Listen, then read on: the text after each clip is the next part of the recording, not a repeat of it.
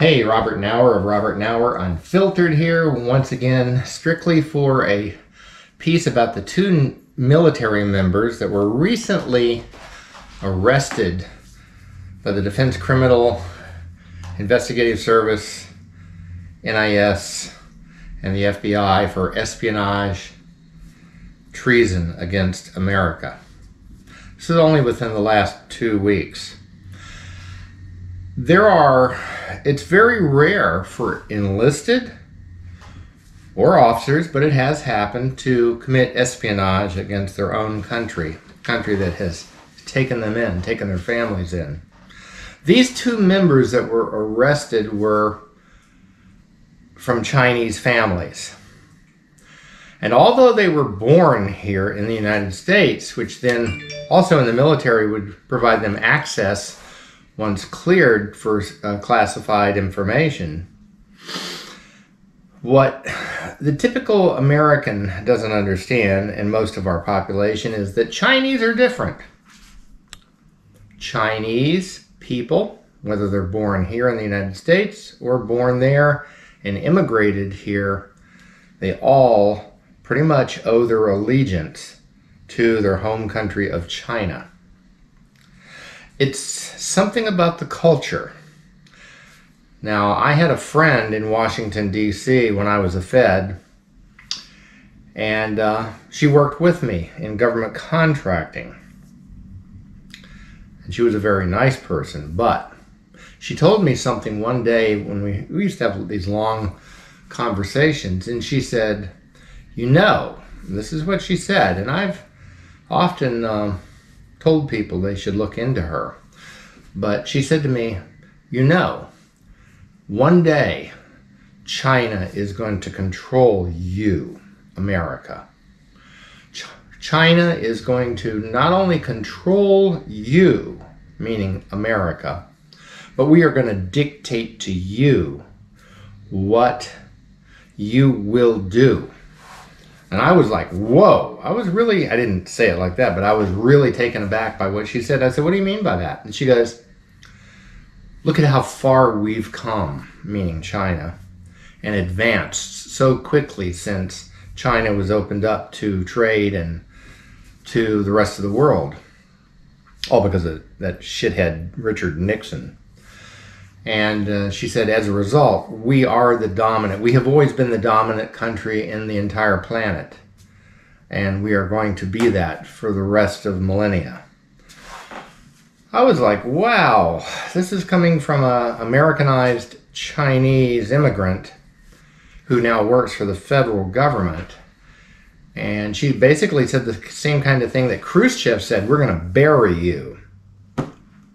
It's kind of a narcissistic philosophy. But now that I look back on that conversation with this Chinese immigrant, now a citizen in government, I can understand the mentality of any Chinese, whether they were born here or born there and immigrated. And thus, the motivations for why these two Navy and Marine Corps enlisted committed espionage and treason against their country is because of the allegiance that they owe, as well as there's typically three things that cause people to commit espionage and treason. Sex, the availability of it, because they're lacking in it, money, because they need money, and money is the root of all evil, and money is what motivates people in a lot of cases. And also, the final thing that you often don't think about the third thing is vengeance. Vengeance? Yes, vengeance against somebody who has wronged them or a country who has wronged them in their mind. So, in this particular case, I believe you're going to find out if you follow their cases, it's that money and vengeance were the two motivators for these two Americanized Chinese military people who committed treason against the United States. Vengeance, because typically when you are wronged, you want to do something that will hurt the people or the institution that wronged you. I know I felt that way before. I even felt that way with my own government at one point in time when I was a whistleblower trying to do the right thing. I was so angry at the government that I wished there was a way I could have done something to get back at them.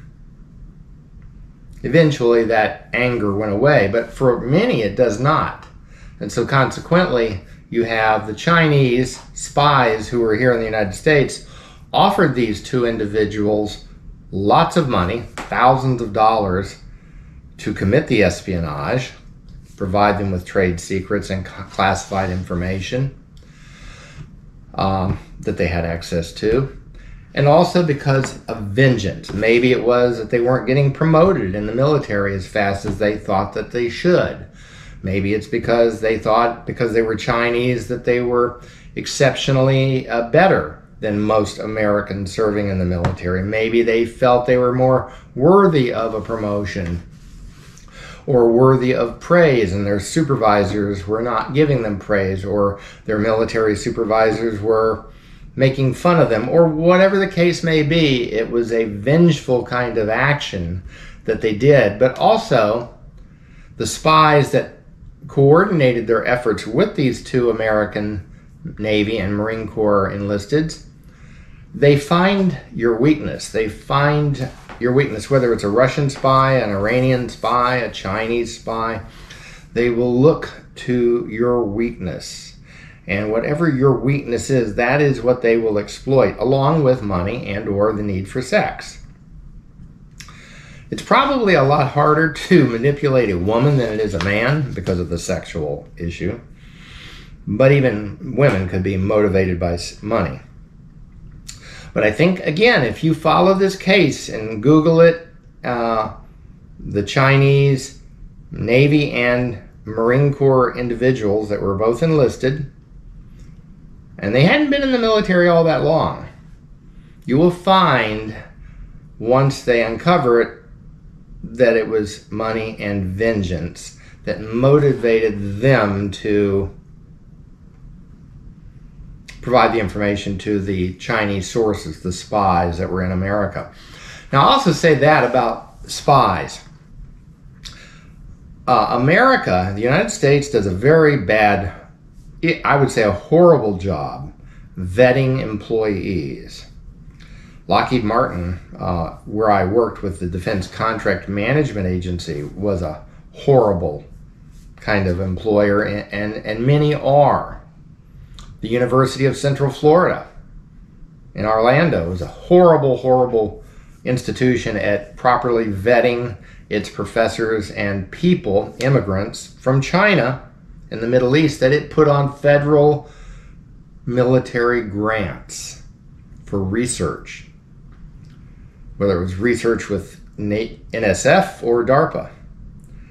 Um, there were literally people on UCF con- grant contracts, and I'll say the word grant versus contract, that were claimed to be already cleared for classified information. The professors who wrote up the grant proposals lied under oath. I hereby certify that everything I said in here is true under penalty of perjury, and they perjured themselves and uh, pretty much the government, federal government, did nothing about it. Now, eventually, I made calls about that, and I think NSF at one point actually did shut it off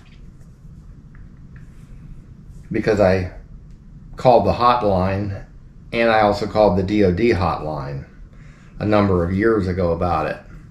And shortly thereafter, um, a lot of that we're dealing with federal grants uh, took a big turn, if you know what I mean.